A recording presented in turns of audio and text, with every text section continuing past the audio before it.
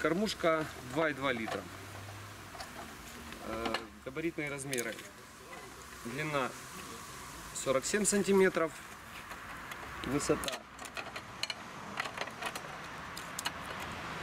5 сантиметров. Ширина 14 сантиметров. Э, Кормушка состоит э, из двух секций. Соответственно, каждой одного стекла. В каждой секции есть плотик и э, перегородки. Э, Принцип действия. Э, Пчела, то есть она ставится вот так вот на рамке вместо потолочен.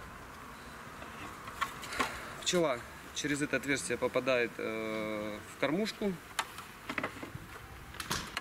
Так она выглядит в собранном виде. Через это отверстие она попадает в кормушку.